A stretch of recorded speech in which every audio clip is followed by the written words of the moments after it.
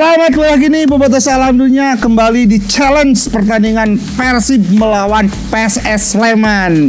Di mana semua tim dan kru menebak Persib akan memenangkan pertandingan, tapi nah karena menebaknya semua sama menang, kita akan tanya satu persatu kira-kira skornya berapa nih untuk pertandingan Persib dan yang kalah nih yang kalah akan disuruh berenang di kolam ini yang panjangnya 1,6 meter.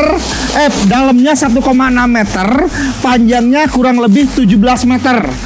Empat kali bolak-balik dari ujung sana sampai ke ujung sana balik lagi ke ujung sana harus empat kali empat balikan.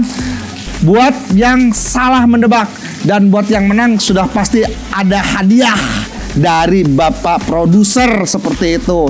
Karena pertandingan Persib melawan Sleman ini akan ditayangkan kalau tidak salah jam 19.00 di Stadion Gelora Bandung Lautan Api. Hmm, sudah pasti Boboto Salam Dunia akan semangat, akan mendukung, akan mendoakan untuk kemenangan Persib pastinya semuanya juga pasti akan mendukung. Tidak ada yang meragukan kekuatan Persib di mana wow sekarang sudah luar biasa.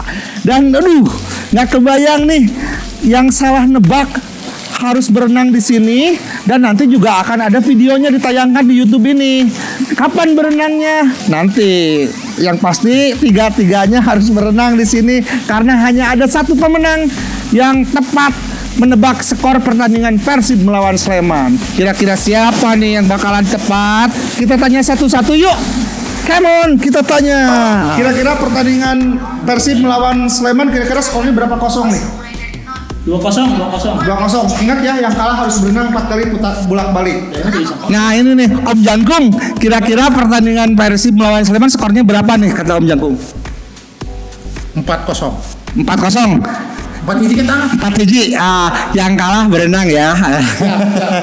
Oke, okay, uh, Mang Eko tadi menebak uh, 2-0 dan Om Jangkung 4-1. Kameramen dulu dong. Berapa kira-kira nih skornya? 3-0. 3-0 dan saya menebak 4-0 untuk kemenangan Persib. Siapa pemenangnya dan siapa yang kalah? Yang pasti tiga yang kalah harus berenang di sana dan kalau empat-empatnya tidak tepat, empat-empatnya harus berenang. Kameramannya siapa? Nanti ada produser aja yang yang kamera. Ya, udah yuk.